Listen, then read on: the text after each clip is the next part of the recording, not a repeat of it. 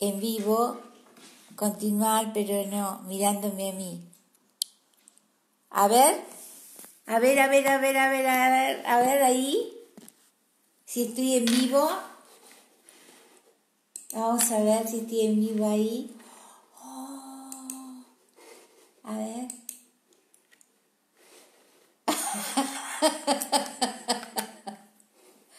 Esto es lo que dice cuando quiero entrar. Sí, sana de patria, lo entiendo. A ver, ahora estoy viendo. A ver cómo es acá, no le puedo escribir a mi hermana. ¡Ay, qué lindo!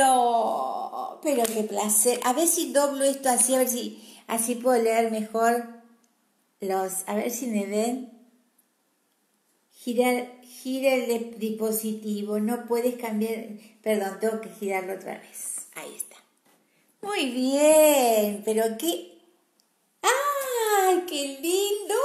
¡La chica! Pero ya está. Gaby, Gaby, mi hermana, mi hermana, por favor, se me perdió mi hermana en este, en esta cosa, en esta cosa. Chiqui, muy bien, pero que me alegro. Pero les voy a anotar a mi hermana que esté por acá. Gaby, estoy vivo por el celu a, a Facebook. Bueno, muchísimas gracias por estar acá, por, bueno, eh, acudir a esta convocatoria que les estoy haciendo. Para mí es un placer muy grande porque, bueno, hay, hay cosas que me gustaría hacer. Casi, casi tiro la toalla, les cuento, ¿eh? Casi, casi tiro la, la toalla porque, este, bueno, lo intenté. Miren, lo conseguí después de 34 minutos, chicas, y gracias a Marianela que me, me explicó que es mucho más fácil por el celular, así que les estoy hablando. Muchísimas gracias por estar ahí, muchas gracias por esos corazones preciosos que me mandan. Em, hoy vamos a tocar un tema que estoy eligiendo porque ya había, me había desprovisto de todas las herramientas que tenía para contarles. Eh, pero es un tema que a mí particularmente me interesa mucho eh, y me interesa mucho transmitirlo desde un lado, permítanme que elija una cosa más que yo tenía esto. Esto me parece importante que lo sepamos todos. Muy bien. La verdad que esto de, de poder hablarlo a través del celular a mí particularmente me beneficia muchísimo porque así puedo eh, tener mi ayuda a memoria, ¿no? Bueno, muy bien. Les agradezco muchísimo. Hola, Marianela de mi vida, ahora sí, mi cielo, ahora sí, ahora sí. Gracias y gracias a vos. Gracias a vos que me salvás siempre porque tenés una tecnología impresionante, tenés unas pilas maravillosas. Bueno, hola Gustavo, bueno, a todos aquellos que están ahí, no voy a empezar a saludar a todos porque eh, me interesa mucho que, que, hola mi vida, hola mi hermana, Gabriela Alejandra García Naveiros, es mi hermana también. Te amo, Gaby. Este, hoy quería comentarles, bueno, me gustaría empezar a dar, a, a comentarles ciertos temas, porque esta cuarentena, podemos hacer muchas cosas con esta cuarentena. Podemos dejarla pasar, podemos deprimirnos, podemos pelearnos con todos los que estamos los que están conviviendo con nosotros, podemos cuestionar nuestras vidas, podemos caer en una terrible depresión, en una tristeza muy grande, eh, o bien, o bien, podemos hacer todo lo contrario. Pero si podemos hacer todo lo contrario, eso lo vamos a hablar otro día. Lo que a mí más me preocupa, por ende me ocupa, es el hecho de, eh, de mm, las emociones que nos, se confluyen en estos momentos en nuestras, en nuestras vidas, en nuestro interior, por sobre todas las cosas voy a hacerle una pequeña, una pequeña reseña de dónde viene todo esto que yo humildemente les voy a comentar, porque es muy importante que, que se sepa el origen de dónde viene todas, de dónde vienen todas estas teorías. Primero quiero comentar que yo ya en esto estoy hace aproximadamente 10 años. Muchísima gente lo sabe, pero no me voy a cansar de decirlo porque es parte del aprendizaje de uno, es parte del enfrentamiento con nuestras sombras, ¿no es cierto? Yo hace 10 años caí en una, profunda depresión, tuve eh, muchísimas... Eh, por supuesto que acudí porque había caído, ustedes recuerdan, estaba sumamente delgada, sumamente delgada, había caído en una anorexia nerviosa. Eh, en realidad yo a la gente no le hablaba, le, ladraba, porque estaba así. Hasta que eh, obviamente un día tuve una crisis muy grande que le pedí en ese momento a mi esposo que me internara, me internara porque era como que ya esto no daba para más. Me hicieron todos los estudios, físicamente vino el médico, mi neurólogo, me dijo, mira, Patri, no tenés absolutamente nada, lo tuyo está absolutamente psicológico. Bueno, dije yo, muy bien, si es psicológico, dame el alta porque yo me voy a recuperar. Me dieron de alta por supuesto, con un tratamiento psicológico, cosa de que yo jamás pensé que lo iba a hacer porque tampoco estaba dentro de las posibilidades que yo creía o de las herramientas que yo creía que a mí me podían llegar a servir. Y con un tratamiento psiquiátrico, que el tratamiento psiquiátrico más que nada consistía en una medicación, obviamente eh, psiquiátrica, y ahí comprendí lo importante que es la medicación psiquiátrica, porque esa medicación lo que hizo fue permitirme pensar, porque yo hasta ese momento no podía pensar, ni siquiera podía escuchar, porque la gente era maravillosa y de alguna manera siempre quería apoyarme, pero mi cabeza, que somos química pura, no daba, no podía pensar en nada de lo que me estaban diciendo. Bueno, hice lo que tenía que hacer en su momento, qué sé yo. Y un día, un día, fui a hacer una regresión. Fui a una regresión. No me la pudieron hacer porque yo estaba energéticamente destruida Aquí vamos ante una cosa que quiero comentar. Para los toltecas, nosotros tenemos, estamos como en un huevo energético, que es todo nuestro, es, toda nuestra energía y nuestra aura, ¿no es cierto? Y ustedes fíjense que uno puede creer o no creer, pero yo les voy a poner un ejemplo muy claro hay una persona que va a hablar con vos y se te acerca acá y te está hablando acá y a vos te molesta porque te sentís que te está invadiendo. Ahora, no te está haciendo nada, pero el sentimiento que tenés es el, de invasión. Bueno, eso es prueba de que existe algo fuera de lo que es nuestro físico. Entonces, ¿qué ocurre? Me dijo que no me lo podía hacer, me tuvo, tuvo eh, que limpiar lo que era mi aura. Yo tengo que confesar que el día, como me levanté yo ese día de la... Está roncando mi perra, eh, no es que sea yo. El día que me levanté de esa camilla, después de una hora y media, yo era otra persona. Otra persona había pasado de ser una persona que se levantaba a la mañana y decía, Dios mío, otro día para vivir, porque me pesaba la vida, a pasar a levantarme súper temprano y feliz. Sofi, Sofi, mi amor, me molesta el cielo. Este, entonces, ¿qué ocurrió? Ahí comienza mi camino y como cuando uno empieza a tener una energía todo lo que está acorde a esa energía empieza a fluir. Y ahí conozco, estando yo acá en la Argentina, conozco en, en YouTube, conozco a Enrique Corbera. ¿Sí? Que ustedes hoy ya lo conocen muchísimo y está absolutamente eh, implantado, vamos a decir así, no sé si es la palabra, me van a tener que disculpar, en nuestro país, una persona sumamente respetable, de una profesionalidad increíble, ha conseguido que muchísimos argentinos apoyen su, eh, toda su teoría y todo su, su, su, conocimiento, porque lo ha implementado de una forma sumamente profesional. Bueno, entonces, es más, les digo, cuando lo conocí a Corbera, eh, no conseguía sus libros acá. En ese momento, por suerte, tuve la oportunidad de viajar a Barcelona. Lo primero que hice fue comprar los libros de Corbera. Corbera cuenta,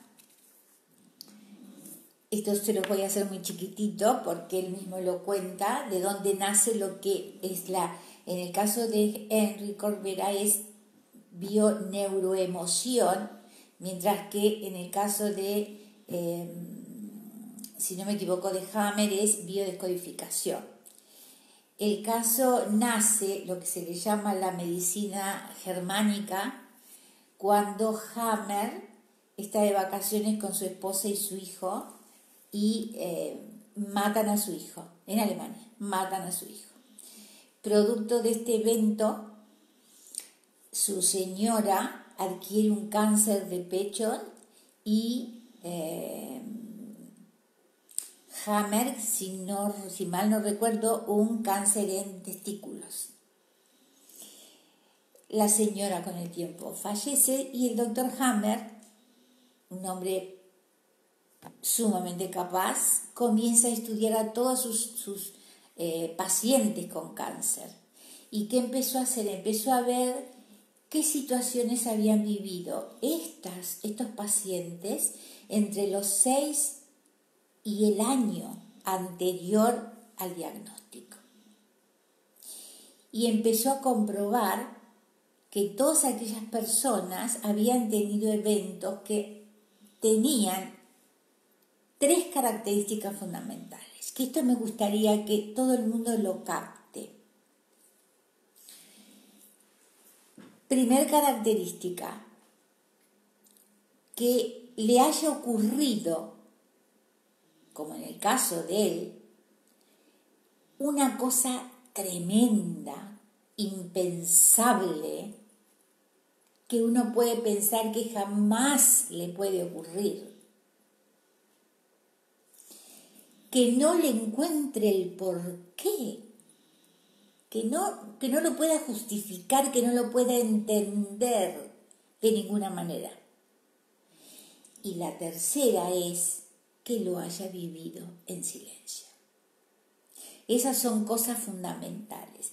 Estos tres detalles a mí me gustaría que ustedes los, recuerden muy bien porque se da, son esas cosas que yo siempre cuando sé de alguien que eh, de pronto hoy tiene una enfermedad como es el cáncer, lo primero que pienso es, en el órgano que ese cáncer lo atacó y en base a eso veo qué es lo que le pasó seis meses antes, un año antes.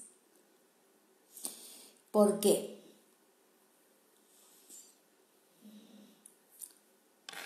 Eh, hay algo que también necesito que tengamos en claro. Esto puede dar lugar a muchísimas discusiones, no me refiero malas, ¿eh? sino simplemente de gente que puede estar de acuerdo o no, que opine o no, ¿sí? Pero eh, hay que entender algo, que ustedes, ustedes saben que yo mucho tiempo también estoy con, eh, con, con Marta Salvat, ¿verdad? Marta Salvat de Balaguer, que ella nada que ver con esto, ella trata un curso de milagros, ¿no? Pero como siempre repito, yo no tengo gurús. Acá me está diciendo Marianela, que me fui del vivo, pero acá sigue apareciendo el vivo. A ver, por favor, si alguien me puede decir, ay, ¿cómo hago para ver esto? Si alguien me puede decir si estoy en vivo todavía o no, a ver. A ver, a ver, a ver, a ver, porque no sé. ¿Alguien me puede decir si estoy en el vivo o no? A ver, y si prendo este... A ver si lo puedo ver desde acá, desde la computadora.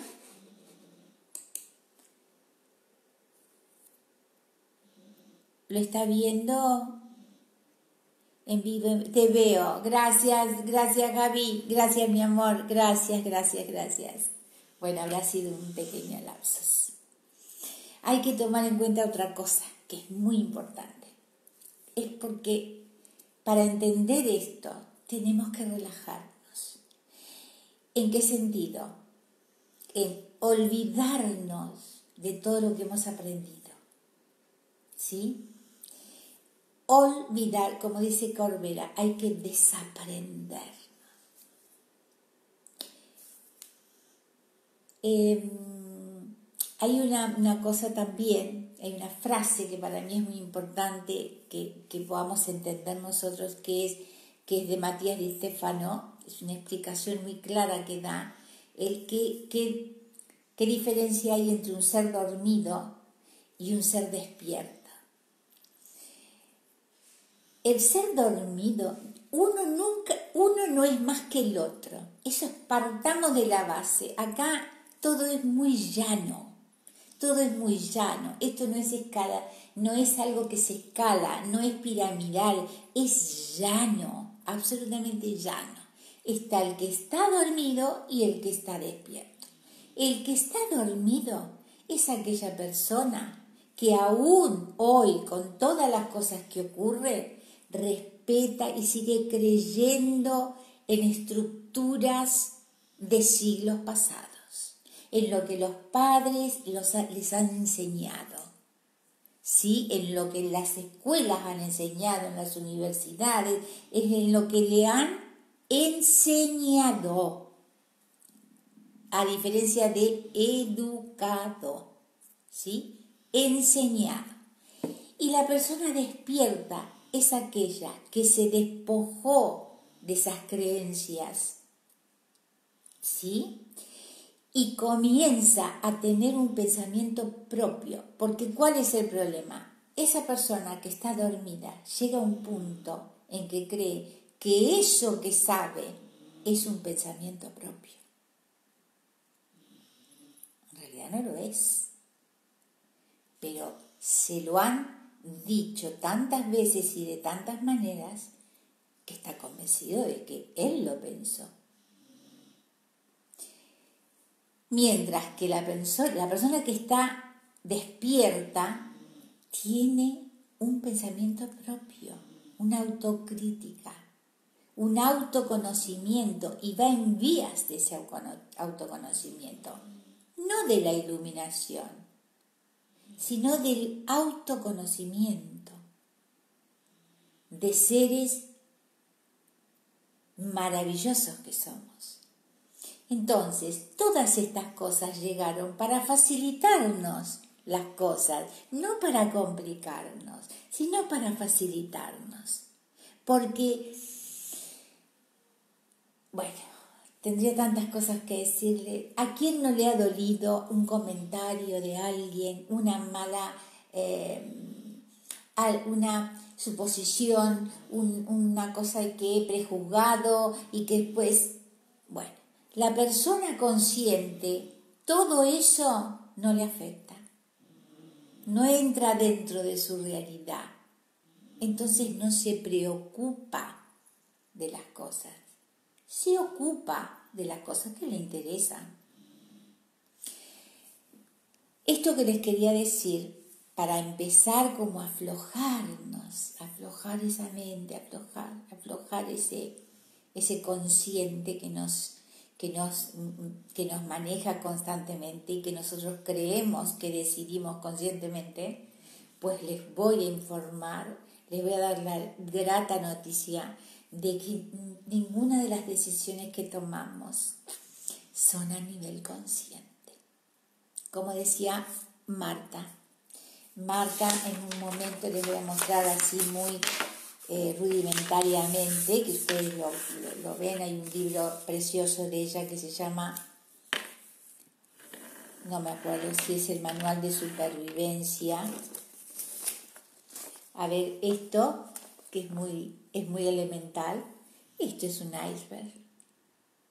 Esto pertenece al 5 o 10% que es nuestro consciente. Y esto pertenece al 95 o al 90% que es nuestro inconsciente. Las decisiones que nosotros tomamos desde acá vienen desde acá. ¿Sí? ¿Por qué? Porque acá están una de las cosas más importantes que tiene el ser humano, que es el linaje. Es la familia, los ancestros.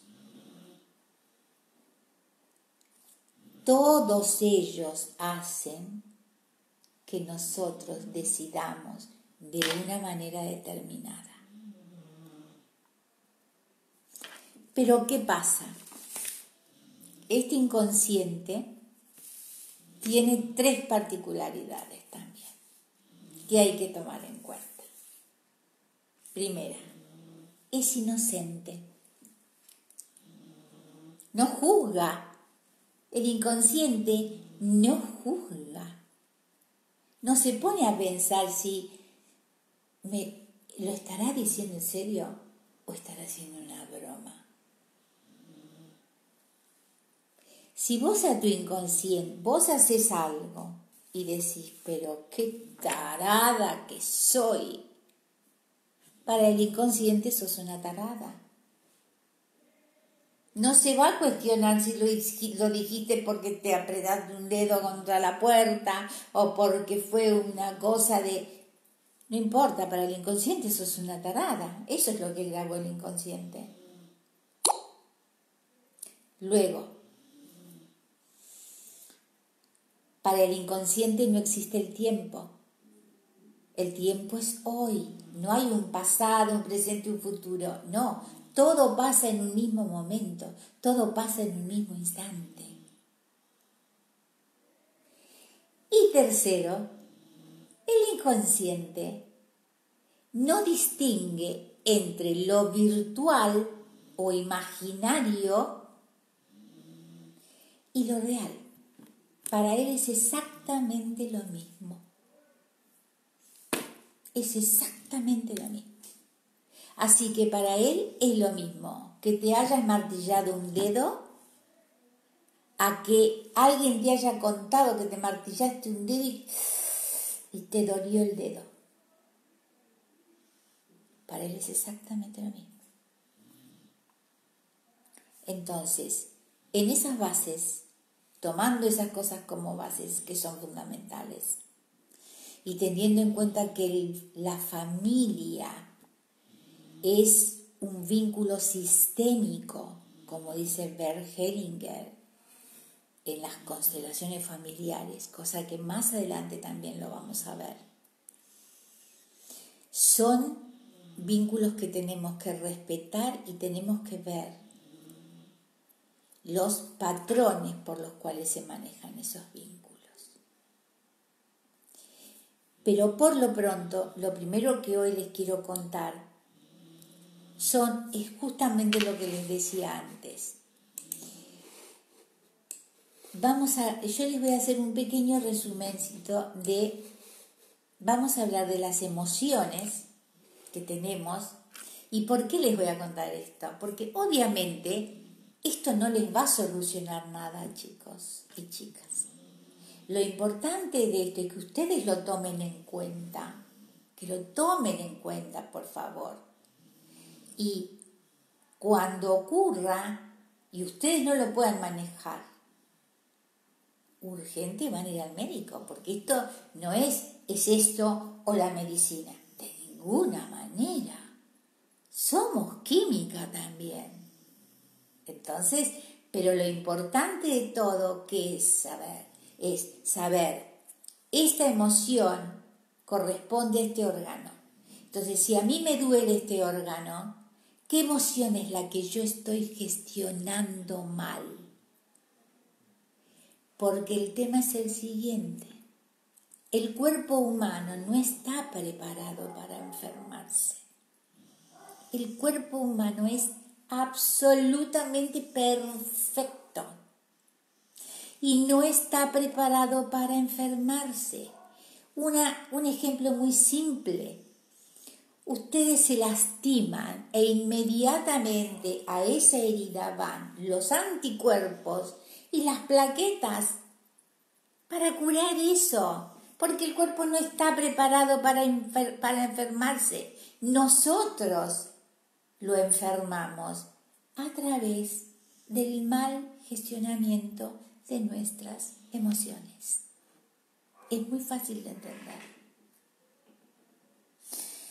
Entonces, si a vos te duele algo, yo te voy a dar una especie de machete. De machete.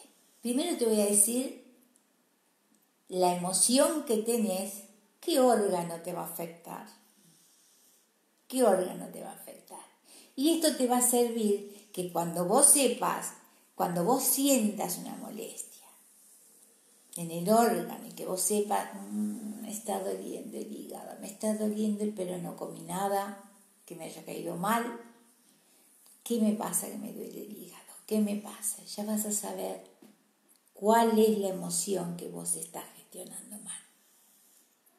Y cuando sepas esa emoción, vas a empezar a hacer una recapitulación, como dirían los toltecas, que en algún momento también lo vamos a hacer, y van a caer en cuenta de cuál es el conflicto. Yo para no hacer tan largo este video, porque ustedes saben que a mí me dejan hablar y podemos hablar durante 48 horas seguidas, les voy a decir esto y después en otro momento, si ustedes tienen ganas, eh, ponemos otro día, que puede ser mañana, puede ser mañana, un horario donde nos vamos a juntar y vamos a ver el simbolismo de cada una de las enfermedades. Pero primero escuchen esto. La ira ¿Saben qué es la ira? Recuerdan lo que es la ira, ¿no? Algunos la sentirán ahora, porque bueno, no es fácil la cuarentena. Pero ¿y antes de la cuarentena? La ira. ¿Cuánto sentíamos ira? En la calle no nos hablábamos, nos mordíamos. Era como que era un desborde. Bueno, esa ira te va a afectar dos órganos, el hígado y la vesícula biliar. Hígado y vesícula biliar. La ira, la ira. ¿Sí? Vamos al otro. Vamos a hablar de lo contrario, la alegría, la euforia extrema, toda la cosa hermosa que tenemos obligación de vivir de esa manera. ¿Dónde se encuentran? Cuando no sentimos todo eso, ¿a dónde va esa emoción? Al corazón, al intestino delgado y a los vasos sanguíneos.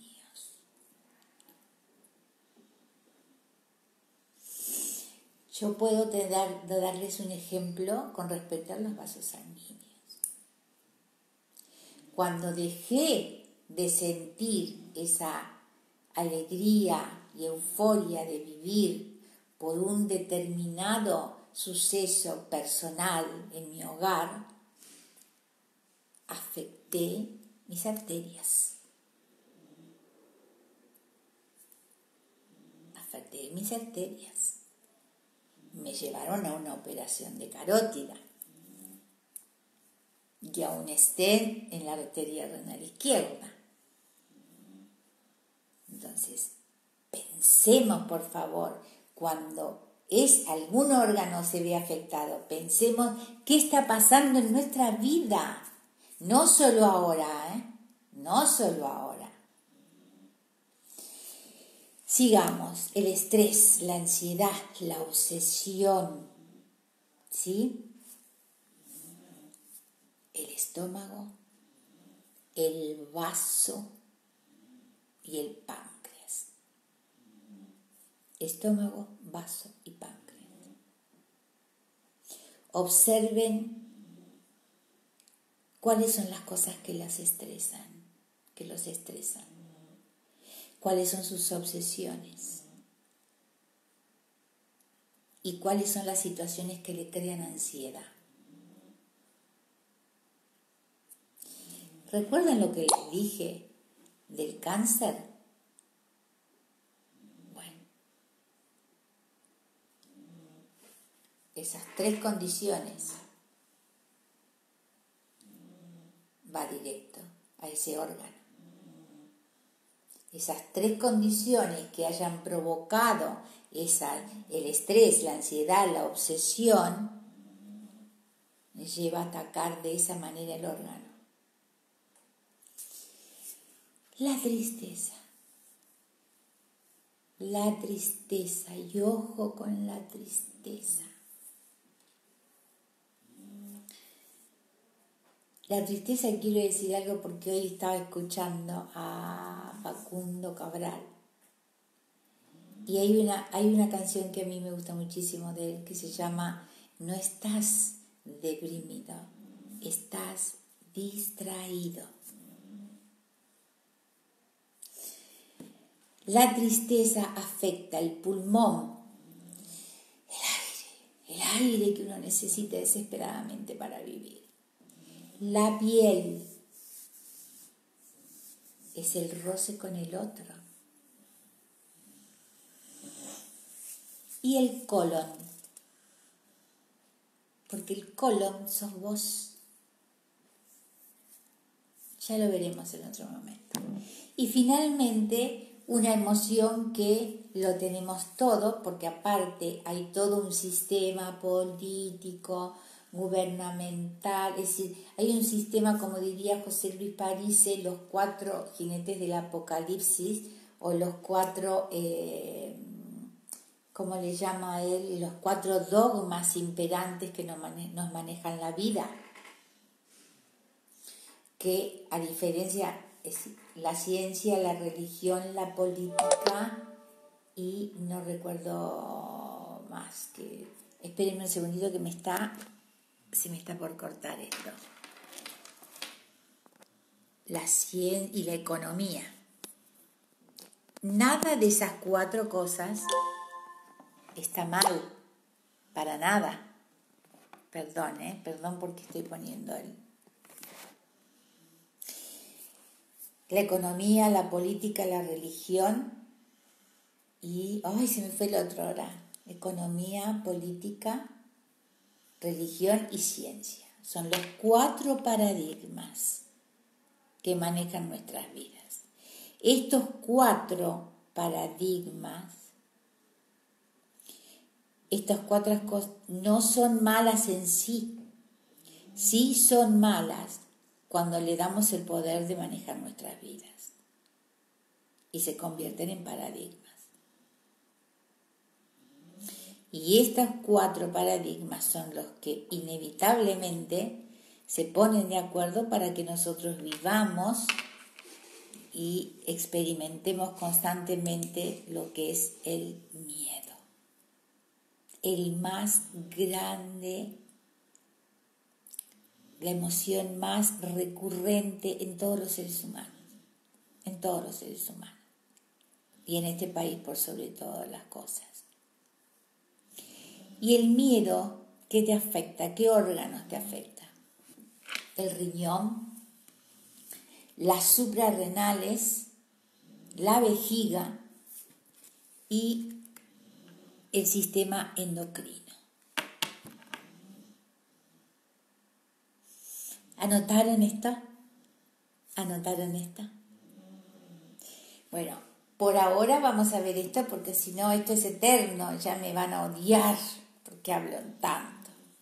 Pero este, bueno, eh, necesitaba, quería decírselo, quería compartirlo con ustedes, me parece que es un tema muy interesante a tratar entre todos nosotros, sobre todo cuando esta cuarentena va a seguir y este, yo creo que podemos hacer una cosa sumamente fructífera, maravillosa, maravillosa porque tenemos miles de cosas para hablar este, y para enriquecernos y para conseguir esa paz y ese autoconocimiento que es fundamental. No nos, no nos, no nos asustemos de las cosas que vamos descubriendo de nosotros mismos. No nos asustemos porque no es tan mal. Porque no hay cosas malas que tengamos, que nos demos, que tengamos nosotros. Son todas cosas que son parte del aprendizaje de cada uno de nosotros. Y de a poquito vamos a ir a ver, vamos a ir viendo cómo mejorar nuestros vínculos. Porque es muy importante eso, ¿eh? Es muy importante mejorar nuestros vínculos, porque no nos podemos ir de esta vida con rencores. No hay tiempo para hacerlo. No hay tiempo. No podemos irnos sin ver a nuestros padres porque estamos enojados, porque no tenemos cosas que perdonarles. Les voy a contar un secreto. Y muchos me van a decir que no, porque cada uno tiene sus experiencias. Pero en la vida todo se puede perdonar. Todo se puede perdonar cuando entendemos que el otro hizo lo único que sabía hacer y que si lo hubiese sabido hacer mejor, lo hubiese hecho. Sobre todo cuando tratamos de hablar de los padres. Nos vemos en otro encuentro maravilloso que vamos a tener. Gracias, gracias por estar ahí. Gracias por hacerme sentir tan bien con cada una de sus eh, caritas. Simplemente el hecho de que me hayan prestado este tiempo, para mí ya es una caricia al alma, absolutamente. Espero verlos muy, pero muy pronto. Vamos a ver si puedo. No, me voy a seguir manejando con el celular porque está cancherísimo, está bárbaro y me permite ver lo que tengo acá preparado para ustedes. Un beso enorme a todos y nos vemos muy, muy pronto. Gracias por estar ahí.